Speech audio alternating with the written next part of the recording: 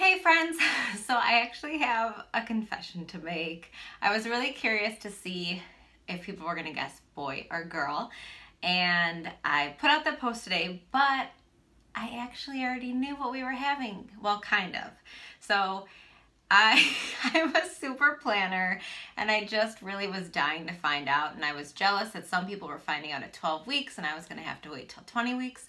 So I found this test online. It's called the Sneak Peek Gender Test where you have to draw your blood and you send the sample off to a lab and they can detect if there's male DNA in it or not and that's how they determine the results. So I actually took the sneak peek test around 11 weeks.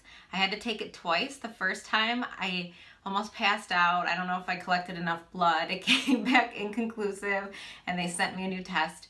And so I took it the second time and we found out and I recorded it. So I'm gonna just share that video with you now and then you can find out what we're having.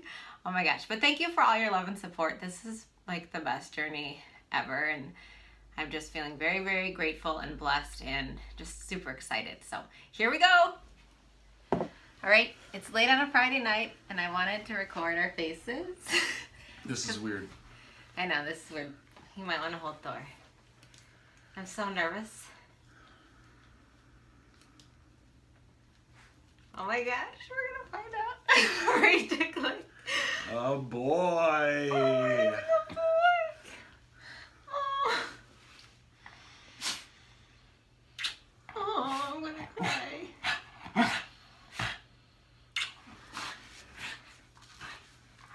Yeah.